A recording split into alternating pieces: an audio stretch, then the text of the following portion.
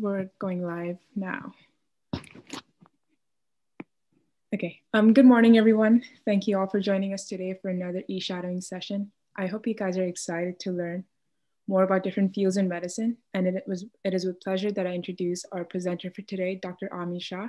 She's a doctor specializing in ophthalmology, and today she will be sharing about her journey to medicine and her specialty.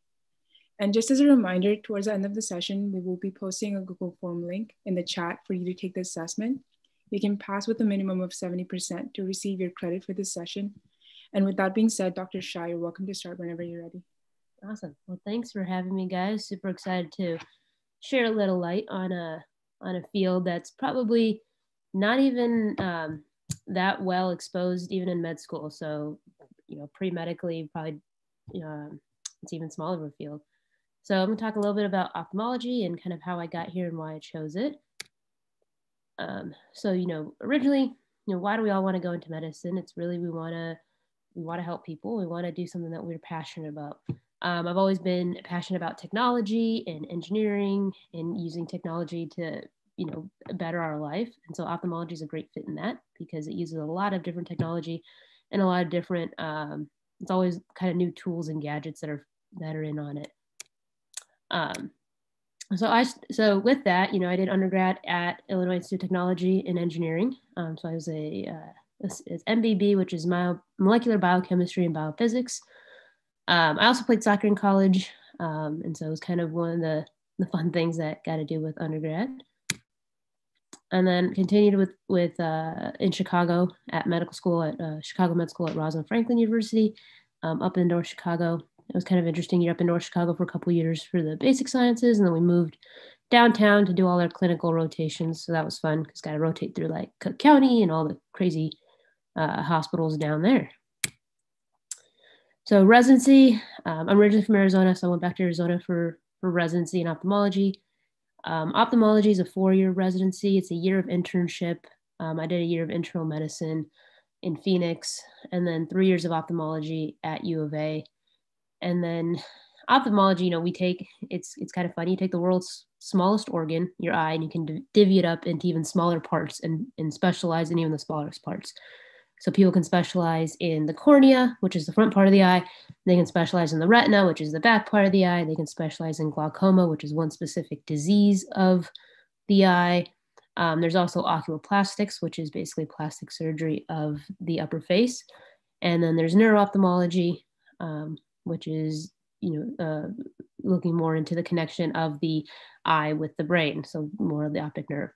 So I did fellowship, uh, combined fellowship in neuro-ophthalmology and oculoplastics um, at Ohio State. It was a two-year fellowship, and then moved out to Austin to practice.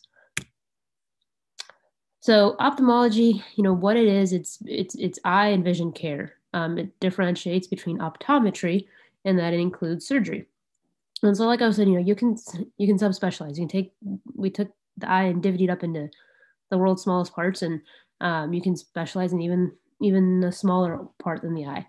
Um, they're still general ophthalmologists and their bread and butter is probably just cataract surgery.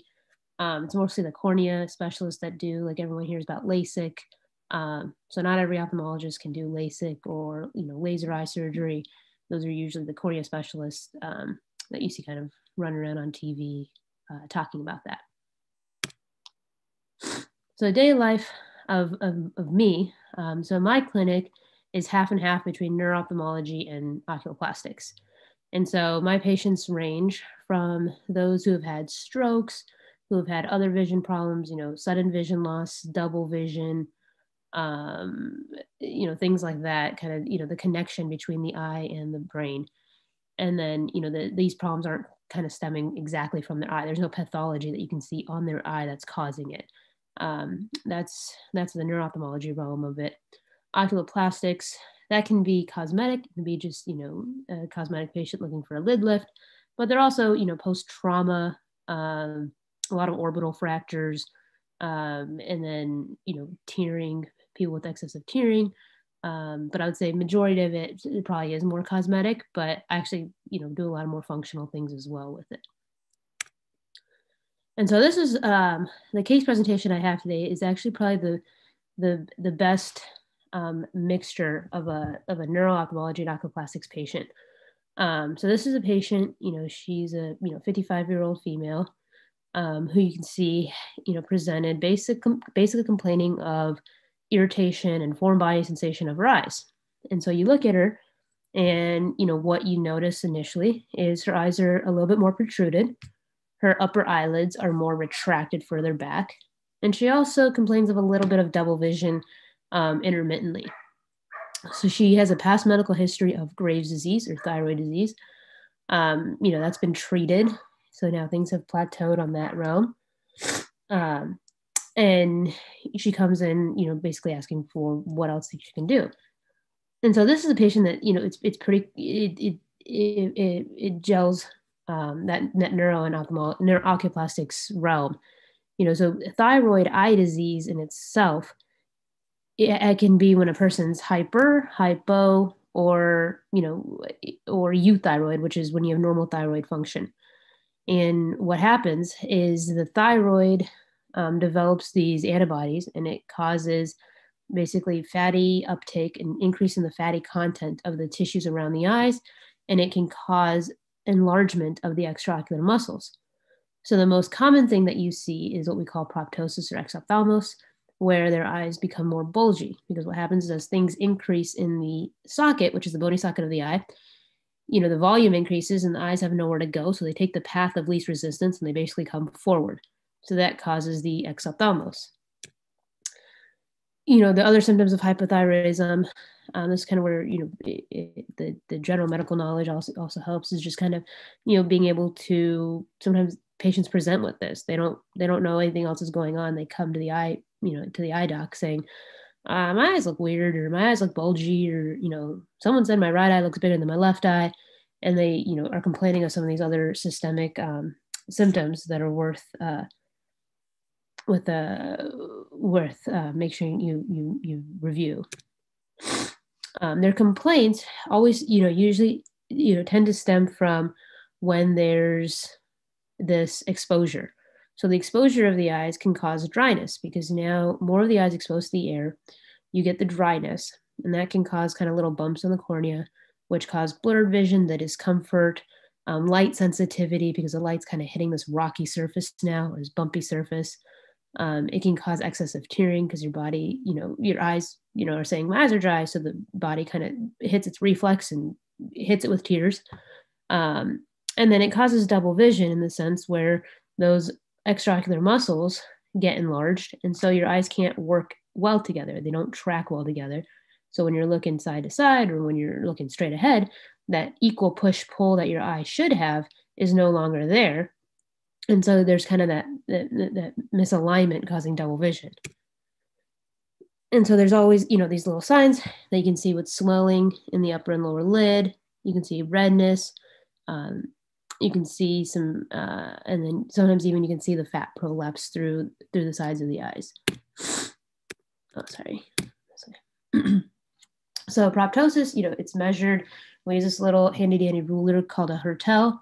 Um, there are, um, you know, the typical guidelines that we use of, of 21 millimeters, um, making someone proptotic. But then, you know, racially and culturally, we all have we all have differences. Um, you know African Americans tend to have just more prominent eyes, and so they tend to you know their their cutoffs are a little bit higher than um, Caucasians, and so um, that's just one thing to keep in mind when you're when we're looking at that. And then, like I said, the the eye muscles can get enlarged, and it's very asymmetric in how they how they enlarge.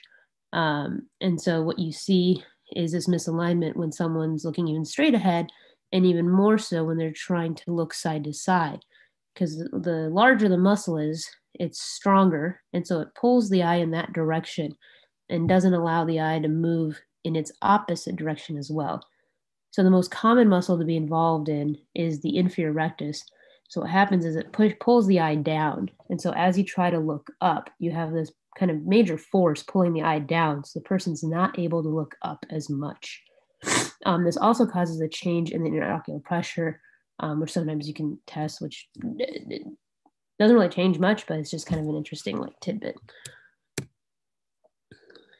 Um, with double vision, Another thing that makes things a little trickier is, um, you know, thyroid eye disease or Graves' disease can sometimes be an autoimmune issue. And, and when you have an autoimmune issue, you can get other autoimmune issues.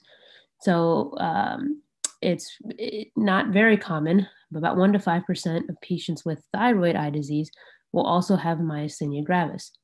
And myasthenia gravis is a systemic um, autoimmune disease that can also cause double vision. And so, you know, it's important to kind of discuss with the patient and when you're taking your measurements just to look because the myasthenia gravis you know it, it tends to fluctuate um, it's more prominent when when they're tired um, and you know in different gazes things will be what's called incomitant um, and it can also cause a ptosis which is a lid droop versus um, the lid retraction. Sometimes they can get masked because if they have severe thyroid eye disease they have lid retraction that's so severe that that ptosis you can't really see because um, the retraction is so severe. So like we're talking about um, exposure keratitis, which is that dryness, which is exposure of the front of the eye. Um, not only is this uncomfortable and irritating to the patient and, you know, uh, cosmetically not appealing because their eyes look red and irritated all the time, um, it can lead to permanent vision loss. Um, you know, the more the eye's exposed, the more it dries out. The cornea can ulcerate, it can become thinner and it can perforate, um, which causes uh, permanent vision loss and even, you know, potentially loss of the eye.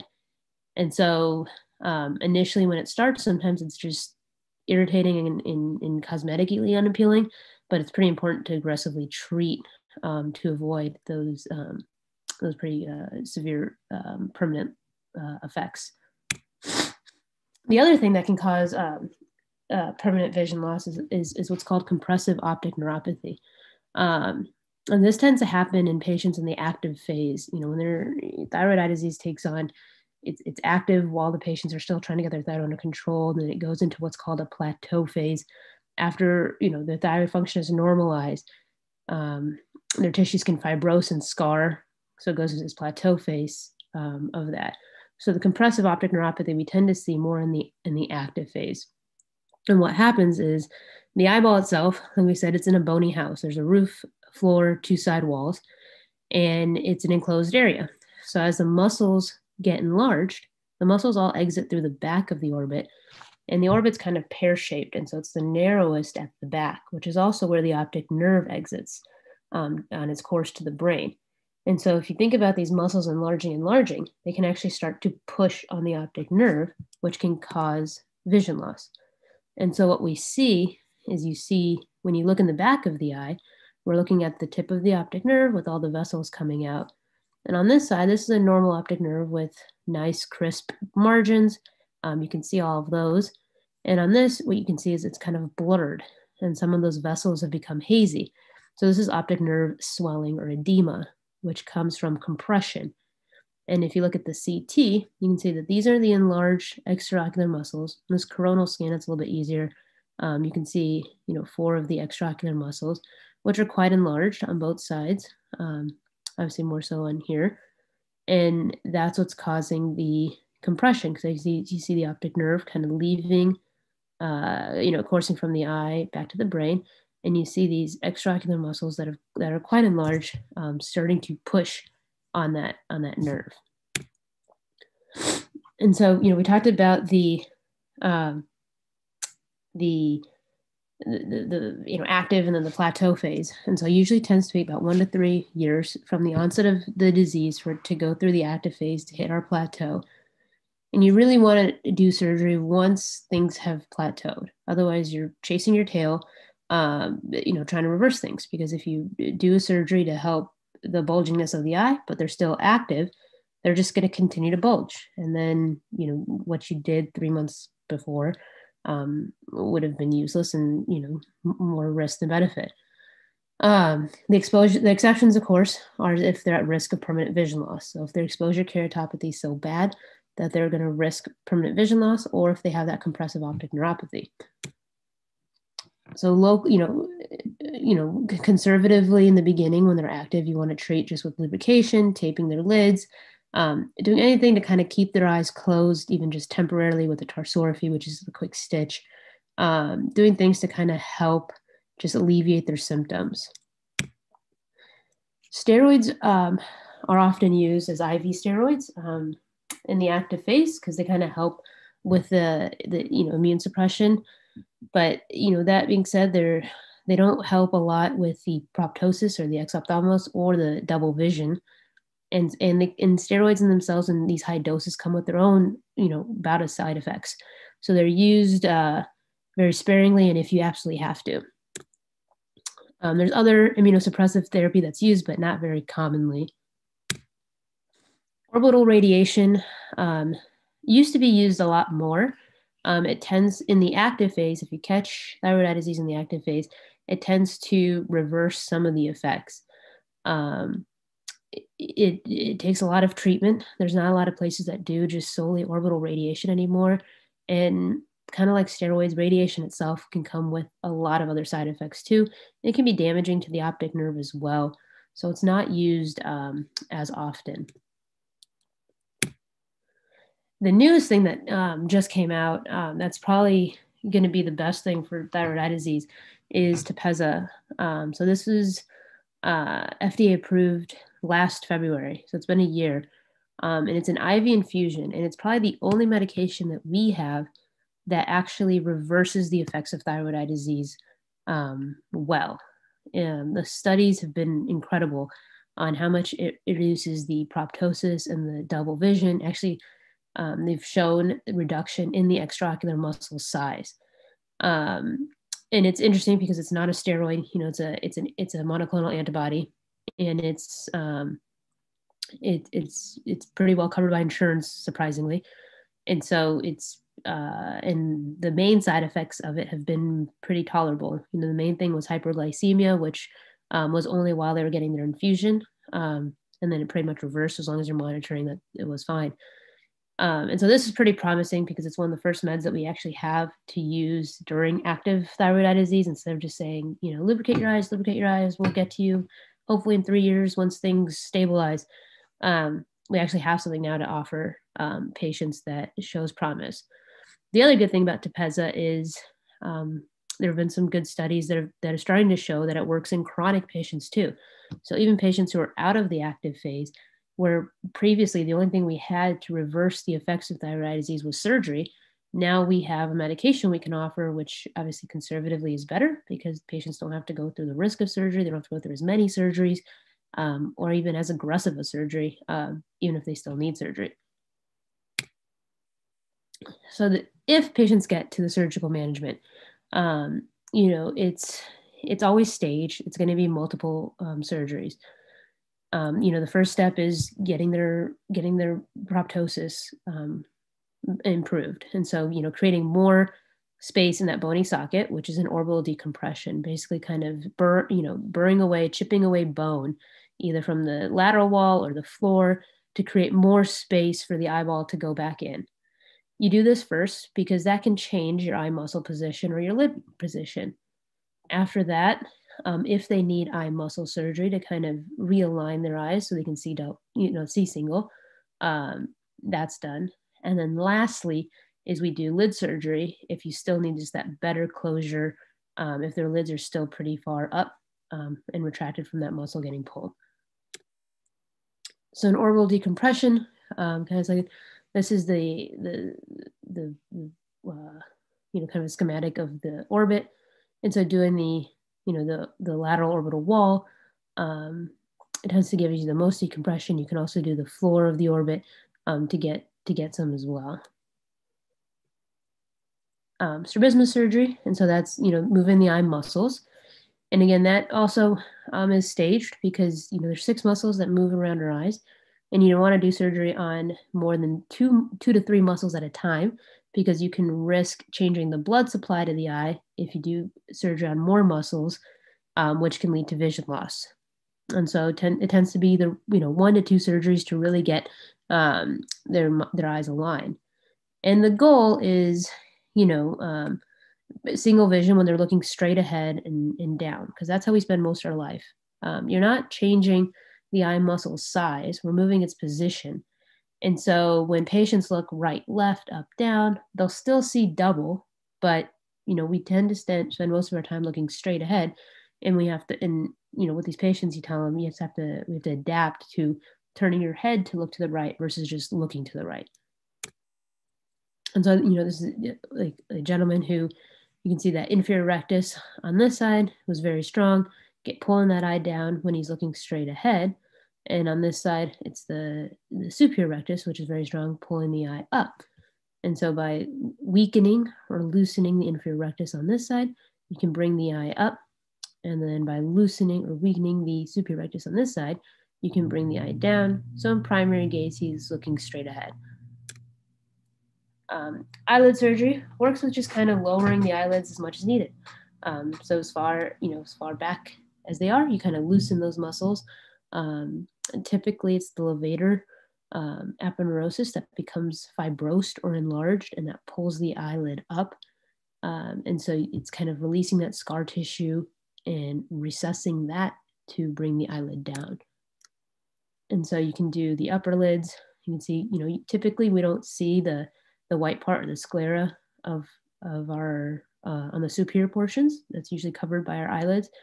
And so you can see that her, her eyelids are quite retracted further back. Um, by recessing it, you can bring the eyelids down back to where they should be.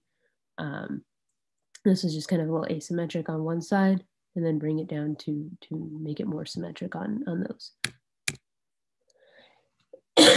so, you know, in, in conclusion, it's, it's, it's, it's a very common autoimmune disease. Um, you know, most people think if they don't have Graves' disease, they don't have thyroid eye disease, and something you know may else be going on. Um, but it can be in all sorts of thyroid dysfunction, and it's really just important to you know keep it on a stepwise plan and just kind of you know make sure that you're chronically screening them because um, you know even in that active phase they can lose they can lose vision. Um, so the last piece I have is just advice for for y'all, and probably the main thing is you know don't go into something that you think you have to go into. Um, you know, just because you you thought you liked it and and you'd have to go into it. Um, I went to med school thinking I was going to do pediatrics, and I was dead set that I was going to do peds. I mean, I was president of like our pediatric interest club. Um, you know, my first year because I thought that's what I want to do, and that's I need to you know, tick all these marks to get into a good pediatric residency. And then I ended up doing my surgical rotations first because people said if you want to do peds, you want to do that in your second half. So you're well equipped on road rotations and you know what you're doing, so you don't look like a goof. Uh, I instantly fell in love with surgery. And so my whole scheme changed, um, you know, kind of later on. And so figure out what you know kind of see what you like dive into everything before you figure out before you say you know that's exactly what you want to do. Um, and the other thing is to kind of remember what you're why you're you know why you're doing this. Um, i think as we go through the whole process um, you get jaded and you know our healthcare system needs a lot of work.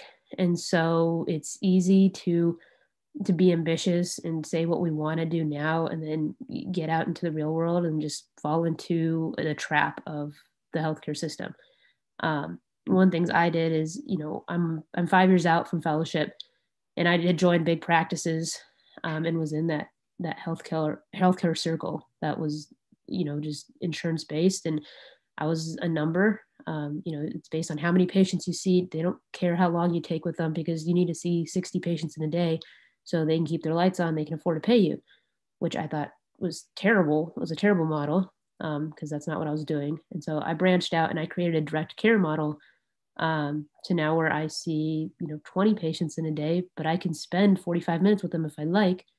Um, and because I don't take insurance, um, you know, it still becomes financially feasible. Um, and so I'm still, you know, now I'm, I'm back to, you know, bringing back to what the medicine that I wanted to practice. Um, and so that's just the one thing, you know, just keep that in mind because I know people who are stuck in that model and they hate it and they hate medicine. They, you know, they're saying, I'll never have my kids do medicine. Um, and that's just because they're stuck in a model they don't like. Um, so just remember what you're doing. And that's it.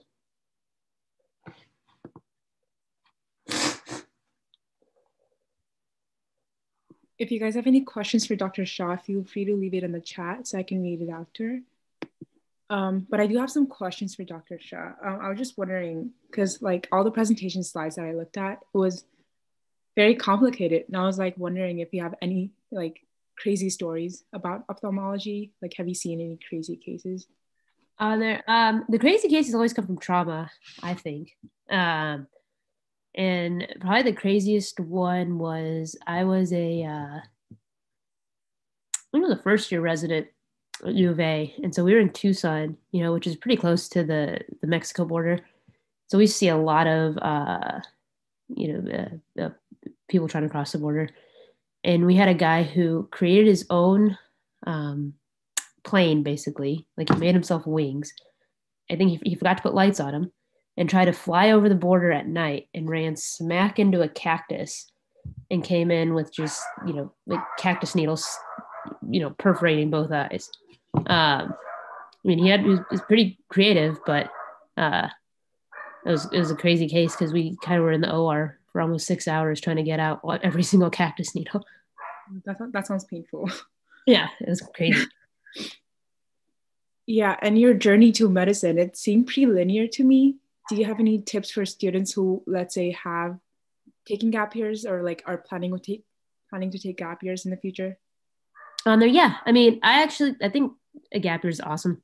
Um like i said it's it's part of figuring out what you like. It's going to make you probably a better applicant. Um just in the fact that you're going to have more to talk about. You know everyone has almost the same journey. I think what what stood me out when i went when i applied was i was an engineer so i had very little, you know, pre-science background. I was I was like I wanted to be an engineer. I actually thought that's what I was going to do, and um, and then you know moved on. And then I played soccer in college, and so you know most people ask me about like my soccer career versus you know the other extracurriculars that you know would be of a typical med student. And so you know a gap year to do something that's interesting to you um, or that you're passionate about, um, totally worth it because it's a long journey. And so you don't want to be you know out of residency at you know in your 30s and then finally do what you want to do because mm-hmm. you know it's, it's not worth it. Okay i have a question from yuna. She says um, how did you get used to doing the surgeries and what were the difficulties you encountered while performing them? Uh, there's the you know the the thing with surgeries is it's all it's just it's it's practice and so, you know, when you're in residency and fellowship, it's getting into as many cases as you can. Um, you know, in fellowship, obviously you're scrubbing into everyone's, but even in residency, mm-hmm. um, once I figured out that I liked oculoplastics and orbit, you know, I would ask our, um, you know, that that attending, you know, if there were any cases, even on the weekend or in, on the evenings, um, and he didn't have another resident, just to give me a call and I'd show up and scrub in um, and even if I just watched or just kind of, you know, uh, uh, helped a little bit, that's helpful. Um, just staying up with with current guidelines and videos, and and it's always asking for help uh, when you need it. And in the beginning, it's it's definitely in you know even or even you know five years out, if there's a procedure that I have that I haven't done in a while, it's just reviewing it, watching videos, and and at some point, it you know you have to have the confidence that you know what you're doing. Mm-hmm. Yeah, and um, any tips for students who want to do ophthalmology in the future? Like any pros and cons you know? On there, um, I mean, I think it's a great lifestyle.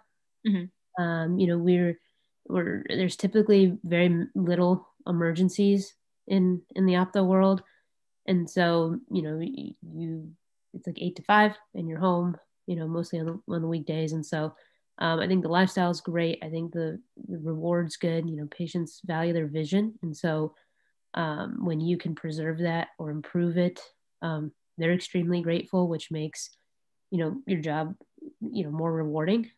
Um, and so those are probably the the biggest pros, and I think the cons follow what what everything else is in medicine is. You know, with insurance cuts, it's probably going to a lot of the reimbursements are getting cut. Um, you know they're cutting cataracts right and left um, which is ridiculous because it's a way to instantly basically fix you know uh, patients from going blind mm-hmm. um, and medicare one continues to cut those um, and so I think that's just the biggest frustration of any ophthalmologist. But you know, I think that's that's across the board in any any field. They're going to find that.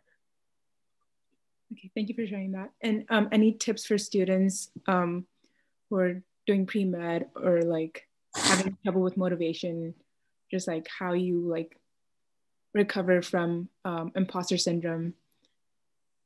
On there, I think a lot of it is finding that finding people with like minded, mm-hmm. uh, you know, and then kind of just this is like creating those groups to to talk the room, and then you know finding um, people to shadow. Even you know, I know it's hard now with COVID, but even people to in person shadow. Um, you know, because I think the way to to kind of fight through that is to to you know one first recognize your recognize it's there, and then two to be like, you know, oh these people have pushed past and they've gotten past that. Mm-hmm.